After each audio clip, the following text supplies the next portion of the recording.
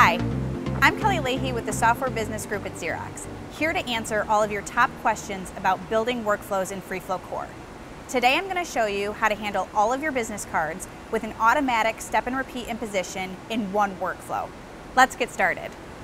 Now, the imposition component in FreeFlow Core is unlike a lot of other solutions because we're actually not creating a template, meaning that you do not need to create a workflow for every scenario.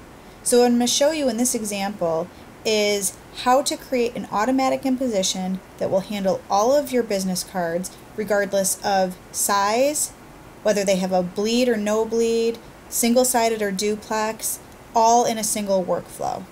Now to do that, what we're going to do is start here on the Workflow Setup tab, and we're going to go ahead and build a brand new workflow. So by doing that, you come down here and click Add, and we want to name our business card workflow. I'm going to say here, all business cards N up on 12 by 18. Now you can feel free to choose whatever press sheet size you want. I'm just going to use 12 by 18 in this example. In a typical business card workflow, we might want to do a pre-flight check first. So what I'm going to do is over here in the components, I'm going to pull in a preset that we've already created, a basic pre-flight. In this case, um, this is just checking for fonts not embedded and image and grayscale resolution. And these are all settings that you're able to adjust and play with on your own. The next thing that I'm going to do is create a brand new imposition preset to accommodate this business card scenario that I explained to you. Drag in the imposition component, hover over it, and select Edit. Now, when we're in our imposition setup tab, really what we're doing here is the left side is a visual representation of an incoming file.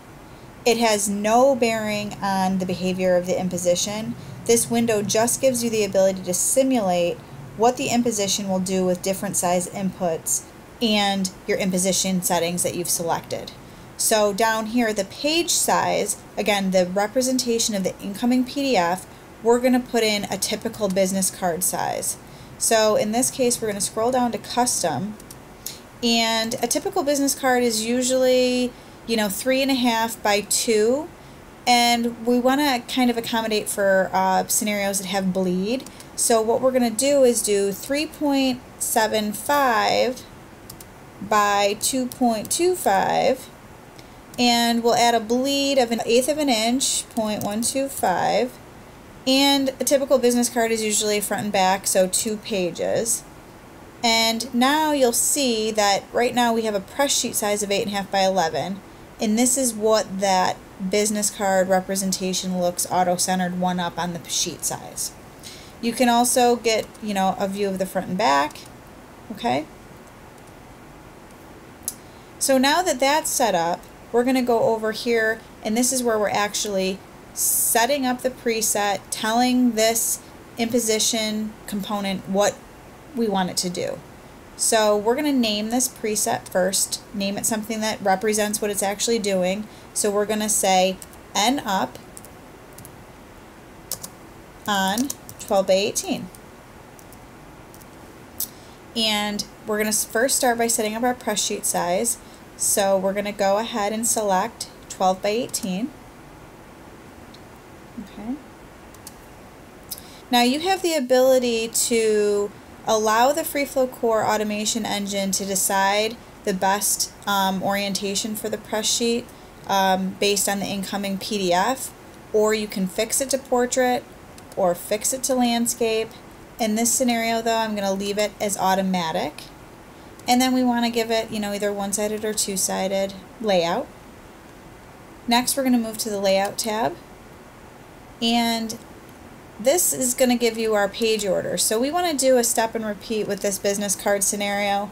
You also, you can see, have the ability to do cut and stack, cut and split, um, even do a manual layout based on some unique finishing requirement that you may have as well. So we're going to leave this as repeated. And then um, if you'd like, you can tell it with fixed rows and columns that you want three rows and three columns. Or you can, again, let that automation engine within FreeFlow Core decide by going ahead and selecting auto rows and columns. So now you can see that in this scenario with the 12 by 18, this gave us a, a multi-up of, of several business cards on that sheet, but they do go all the way to the edge of the sheet. So we want to make sure that we are giving enough gutter and margin and allowing for cut marks if that's what you'd like. So we're going to keep staying here on the layout page, working our way down. Now, cell clustering, turning that on allows the business cards to abut on each other. Now, in this case, it's abutting to the PDF crop box. But what we'd really like to see is it abut to the trim box. So we're going to go ahead and set that up.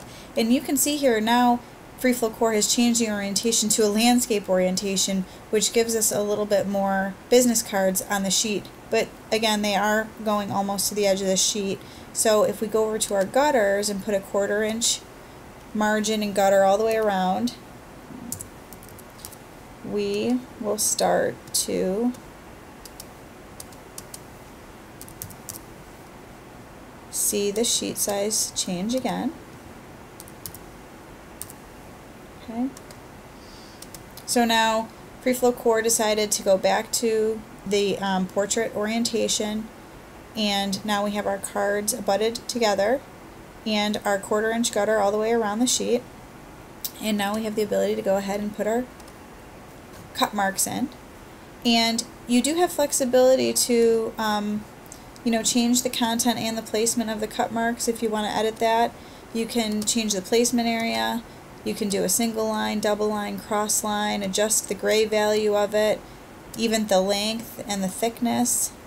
And also on the next tab over, have the ability to change the placement, you know, front and back, different page intervals. So you can do this based on your own best practices at your shop. So at this point, this workflow is ready to go. So I'm going to go ahead and save it. And so now we've done a basic pre-flight, and now we have a multi-up imposition on 12 by 18. And so I want to go ahead and test this with some business cards. So I'm going to hit save. So we've saved our workflow. Our workflow name is all business cards N up on 12 by 18. And I'm going to just quickly submit some jobs to that workflow. So if I go over here to submit job, I can drop and drag in our documents. We're going to change our workflow destination to all business cards on 12 by 18. Here it is. And one thing I wanted to show you quickly is I created a quick folder that has uh, a whole bunch of different business cards in it. So if I just show you that quickly. And right here, let's open all these business cards quick. Okay. So these are the four business cards that I'm going to send to this workflow. So you can see these are all different business cards, okay? They're all different sizes. Some have bleed, some have no bleed. Okay, you can see that the bleed box is um, highlighted here because we have that turned on in Acrobat Pro. Um, so different sizes. So here's uh, a landscape business card, a portrait business card. Here's another landscape business card that's a little bit of a different size. And then a business card that has no bleed okay? They're all duplex in this scenario. And I'm going to go ahead now and submit all of these jobs to my workflow in FreeFlow Core. So if I go back to Core and I want to go here submit job, I can bring back up my business cards. I can take all of those cards move them right into core. You can see that they've all uploaded. Again, I'm going to reselect my all business cards on 12 by 18 and submit the job. Now you can see the job has come into the active window. It's processing.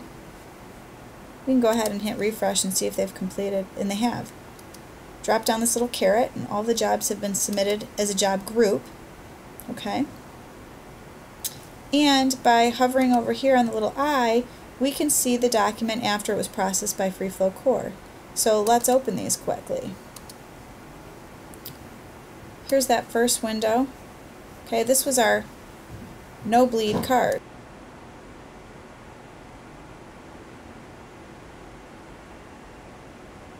You can see all the crop marks and cut marks are associated with it properly. If we look at the next file,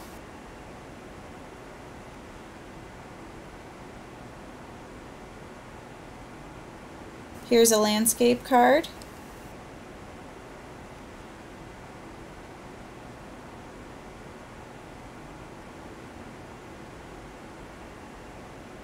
on a portrait sheet. Next sample, landscape orientation.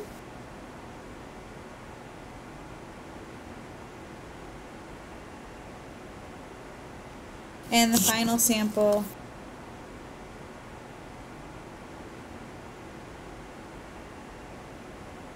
all on 12 by 18. Okay, so the next thing that I'd like to do is show you how to go ahead and associate this workflow to a printer and have it send down to uh, the hold queue on a Versant.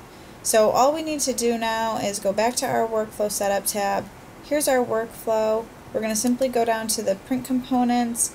So once you go to your print component, you can grab your Versant hold preset, add that to the end of the workflow, hit save, and now all of your business cards, simplex, duplex, bleed, no bleed, landscape, portrait, multiple sizes, are all automated using FreeFlow Core. Find out how FreeFlow Core can solve your business challenges by scheduling a live demo with my team at www.xerox.com forward slash automate. Thanks for watching.